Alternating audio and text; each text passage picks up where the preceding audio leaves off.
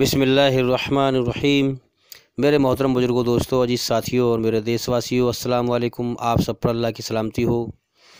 آئیے آج ہم تھوڑی سی بات کریں گے کہ اللہ نے انسان کو کس لیے پیدا کیا ہے۔ تو آئیے شروع کرتے ہیں۔ سب سے پہلے ہم یہ جان لیں کہ اللہ وہ بادشاہ ہے جو زندہ ہے، جس کی نہ شروعات ہے نہ انت ہے۔ سب سے بڑا ہے اس کے مقابلے کا کوئی نہیں ہے۔ ہر چیز اس کی پیدا کی ہوئی ہے اور سارے انسانوں کا فیصلہ کرے گا قیامت کے دن۔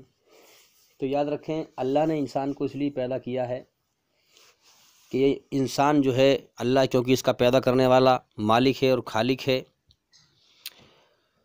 تو یہ اللہ کو راضی کر کے جائے، پھر اللہ کا انعام پائے اور ناراض کر کے جائے گا تو سزا پائے گا۔ تو اس لیے اللہ نے فرمایا ہے کہ ہم نے انسان کے سامنے دونوں راستے کر دیے ہیں، چاہے ہمارا احسان مانے یا انکار کرے۔ احسان ماننے والوں کے لیے ہم نے بہترین جنت بنا کے رکھی ہے، ہمیشہ کا جیون ہے، انکار کرنے والوں کے لیے ہم نے جہنم بنا کے رکھی ہے۔ تو یاد رکھیں، اللہ نے اس لیے پیدا کیا ہے انسان کو کہ انسان اللہ کی دی ہوئی عقل اور شریر کی طاقت سے اللہ کی کھوج کرے۔ کہ میرا بندہ دنیا میں میری کھوج کر کر میری دی ہوئی عقل سے مجھے راضی کرے گا، بھلائی پہ چلے گا، اچھائی پہ چلے گا، برائی کو ناپسند کرے گا، جیسے کہ اللہ نے انسان کی رچنا بنائی ہے بھلائی پہ چلنے کی۔ لیکن انسان دنیا میں ایسے بھٹک جاتا ہے، کھیل تماشے میں لگ جاتا ہے، مال دولت کی دوڑ لگاتا ہے۔ اللہ کی قدرت پر غور نہیں کرتا۔ پیسے کے پیچھے بھاگتا ہے، دولت کے پیچھے بھاگتا ہے۔ بھائی، ذرا سچائی پہ غور تو کرو۔ یہ زمین میں سے گیہوں ہیں، پھل فروٹ ہیں، جتنی بھی ہم چیزیں کھا پی رہے ہیں، ان سب چیزوں کو کون پیدا کرتا ہے زمین میں سے؟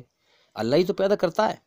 اگر اللہ ان کو پیدا کرنا بند کر دے تو تم کون سے پیسے سے تم خرید لو گے پھر؟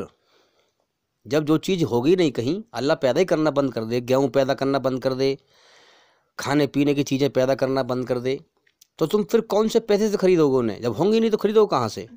اس لیے مال دولت سے کچھ نہیں ہوتا بھائی پہلے اللہ کو راضی کریں ہم۔ اللہ پالنے والا ہے۔ مال دولت جو مقدر میں ہوگا مل جائے گا۔ جب انسان کو بھوک لگے گی تو پھر وہ چلے گا کمانے کے لیے۔ جب کمانے کے لیے چلے گا تو اللہ اسے روزی دے گا۔ جس نے پیٹ لگایا ہے وہی بھرے گا۔ تو اللہ کا احسان ماننے والے کی پہچان یہ ہے کہ وہ ڈرے اللہ سے اللہ کی کھوج کرے، اللہ کا علم حاصل کر کے اسے پھیلائے۔ اور جو شخص اللہ کا انکار کرنے والے ہیں، کرموں سے دیکھ جاتا ہے کہ انسان برائی چاہے چھوٹی ہو یا بڑی بڑی ہو، اس پر چلنے والا ہو، تو وہ اللہ سے دور ہے۔ اور اللہ سے معافی بھی نہیں مانگتا، تو وہ اللہ سے دور ہے۔ اور ہم دیکھیں جو اللہ کا انکار کرنے والے ہیں، وہ ایسے بھی ہیں کہ انہوں نے اللہ کے دین کا مذاق بنا رکھا ہے، کھیل بنا رکھا ہے۔ جیسے وہ سوال کرتے ہیں کہ بھئی آج جو بارش کے موسم میں آسمان پر بجلی کیوں چمکتی ہے؟ تو کہتے ہیں کہ بجلی اس لیے چمکتی ہے تاکہ زمین کو جو ہے دیکھ سکیں کہاں سوکھی ہے۔ بتائیے، کتنی بڑی بات ہے کہ انسان جو ہے یہ بے وقوف پنے کی بات کرتا ہے۔ اللہ کی قدرت کا مذاق بناتا ہے۔ کہ اس لیے اس لیے جو ہے بجلی چمک رہی چمک چمکتی ہے اوپر سے تاکہ زمین کو دیکھ سکے کہاں سوکھی ہے۔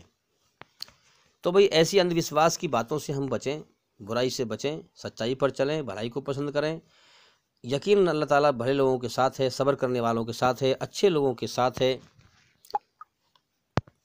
اور بھئی ہمارے چینل سے لگاتار جڑے رہیں۔ اور اگر آپ چینل پر نئے ہیں، سبسکرائب کریں، لائک کریں، گھنٹی ضرور دبا دیں تاکہ ایسی اچھی باتیں آپ تک پہنچ سکیں اور بھائی زندگی رہی تو انشاءاللہ پھر ملاقات ہوگی۔ واخر دعوانا ان الحمد للہ رب العالمین۔ السلام علیکم ورحمۃ اللہ وبرکاتہ۔